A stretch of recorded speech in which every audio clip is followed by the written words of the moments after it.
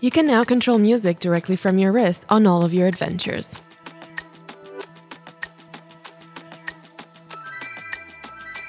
Make sure your Suunto watch is updated with the latest software and paired and connected to the Suunto app.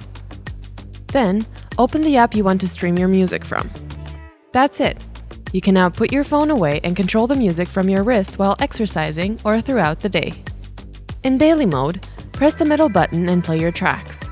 For the Suunto 9 collection, you can also use the touchscreen. In addition to that, you can also use the music controls while recording an exercise or disable them from the settings. Use the touchscreen or the buttons to play or pause, skip a track, repeat a song, and control the volume.